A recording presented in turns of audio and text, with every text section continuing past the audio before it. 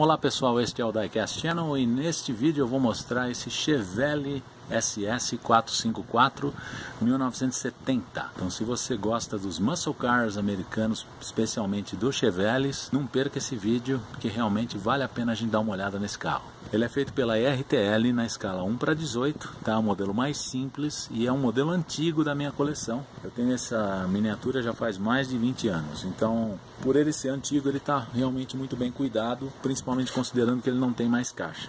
Então já vai também curtindo, compartilhando, se inscrevendo no canal e clicando no sino para as novidades que eu vou mostrar mais carros desse tipo. Em 1970, o Chevelle mudou não só o desenho da carroceria, né? já mostrei o 68 e o 69, vou deixar os links aí embaixo na descrição.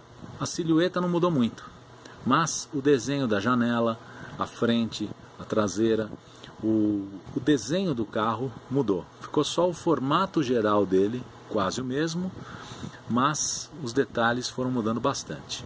Ele passou até essa frente bem agressiva, bonita inclusive, e, e, é uma frente que lembra um pouquinho a frente dos nossos Opalas, 75 até 79. Lembra um pouco apenas. Se nós pegarmos o 71, eu mostrei num vídeo também, vou deixar também o link aí embaixo, nós vamos ver que a semelhança com o Opala é um pouquinho maior. Mas não que o Opala tenha sido copiado dele, mas sim inspirado. Afinal de contas, é tudo GM, né? Este carro realmente tem uma cor muito bonita, essa cor era bem típica do Chevelle SS. Inclusive, esse modelo ele está muito bem cuidado pela idade que ele tem. É, frisando mais um pouco quando as pessoas me perguntam dos cuidados, como eu cuido, como eu faço para cuidar das miniaturas. Eu mantenho sempre limpas, protegidas da poeira na medida do possível, em armário fechado e quando preciso dou uma lavada e uma polida também. Só que a qualidade do modelo também ajuda. A qualidade da RTL nos cromados aqui ajudou bastante, porque os cromados com todos esses anos estão bastante íntegros, né? Tudo bem que é um carro que só teve exposto, não foi usado de brinquedo nem nada, mas mesmo assim ele está bem cuidado pela idade dele. Abrindo aqui ó, a porta do passageiro, nós podemos ver que ele tem um banco estilo inteiriço, com câmbio mecânico de assoalho, né, muito parecido com aquela solução dos Dodges, era um muscle car mesmo, né, o painel do Chevelle a gente pode ver aqui, ele não tem uma forração de teto, ele só tem mesmo o, acrílico dos vidros e os bancos dele têm encosto fixo. Ele é simples mesmo. Os RTL dessa linha são modelos mais simples, apesar de serem carros bem feitos. Tem o encaixe da porta que está muito bom, a pintura não tem porosidade nenhuma. Ela às vezes fica um pouco opaca, eu consegui dar um polimento nela com lustramóveis, né, que é um que não é tão agressivo quanto cera de carro e ficou com um brilho bom. Esses cromados aqui fui eu que detalhei, porque nesta linha não existiam os cromados detalhados. Se você procurar modelos dessa linha ainda para vender, você encontra na internet, usados normalmente, mas não tem os cromados, porque os cromados aqui foi eu que fiz. Né? Isso aqui não, não existia no carro. E o SS454. Esse carro era um monstro de potência, ele tinha 450 HP no motor, tanto que existia uma propaganda com uma foto desse carro de frente acorrentado no chão, né? que é a ideia de acorrentar a fera.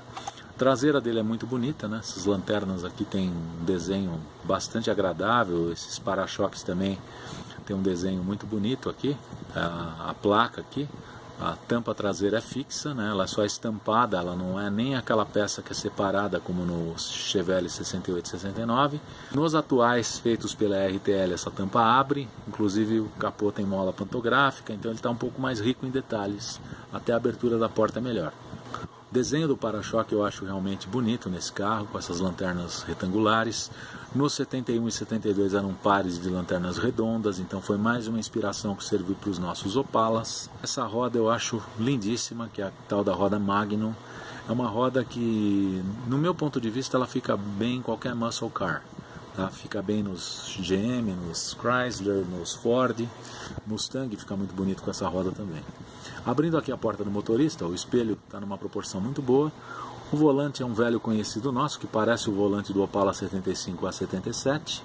Os pedais ali embaixo são estampados no plástico. O interior é todo feito em plástico, né, com texturas diferentes só.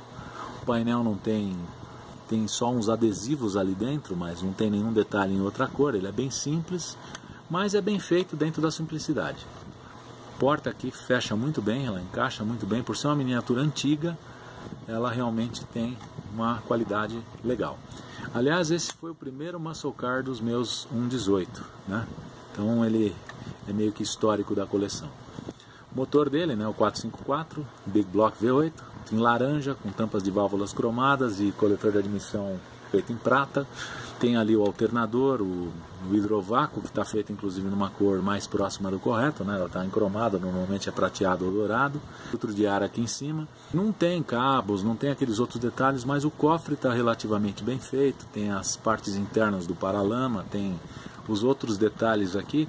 Então é um motor que se você pegar, por exemplo, fiozinhos e colar simulando os cabos de vela, por exemplo, já dá um aspecto um pouco mais detalhado para ele e ele fica bom. A dobradiça aqui não é das melhores, vou falar a verdade, mas também não é das piores. Né? Dá uma boa abertura para o capô, poderia abrir um pouquinho mais, mas também não é das piores que eu já vi. Existem dobradiças muito mais grosseiras do que esta. Inclusive um detalhe interessante, o capô do SS ele tem essa protuberância, a gente pode observar isso naquela Station Wagon Chevelle feita pela Hot Wheels. E esse co-induction aqui é um sistema que tem aqui com uma abertura, é uma tampa que abre para melhorar um pouquinho a ventilação aqui dentro do motor. No modelo da Lane Exact Detail, isso está um pouco mais bem detalhado do que aqui. Aqui só está estampado no metal. Então esse é um outro detalhe interessante que apesar de não ter sido reproduzido com a funcionalidade, foi bem reproduzido aqui na tampa do capô. Aqui os pinos de do capô, na verdade são só imitações, não tem nem o grampo aqui imitado, mas também não está tá satisfatório. A parte de baixo dele, como todos os RTL, tem aquele chassi estampado no plástico, uma peça única com suspensão fixa, eixo fixo, só que são peças separadas aqui. Os escapes são peças separadas, o cardan é peça separada, o motor e o câmbio também. Então isso aqui é tudo desmontável.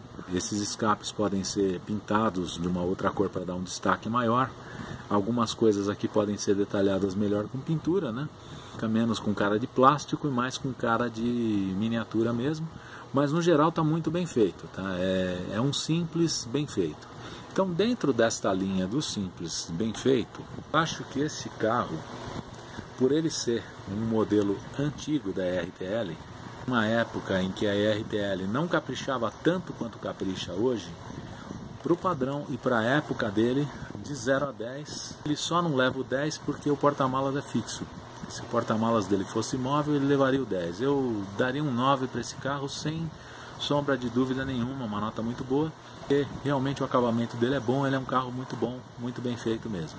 Eu tinha esse carro em kit, quando eu comprei o 1.18 eu fiquei maravilhado, porque era realmente maior e bem acabado. Além disso, a durabilidade dele conta bastante, né? Então ele está aí hoje em forma, inteirão, como se tivesse praticamente saído da caixa. Eu agradeço por todos os likes, comentários. Não se esqueça de deixar seu like também. Se você gostou do vídeo, deixe também seu comentário. E também não se esqueça de se inscrever no meu canal e de clicar no sino para as novidades. Muito obrigado e até o próximo vídeo.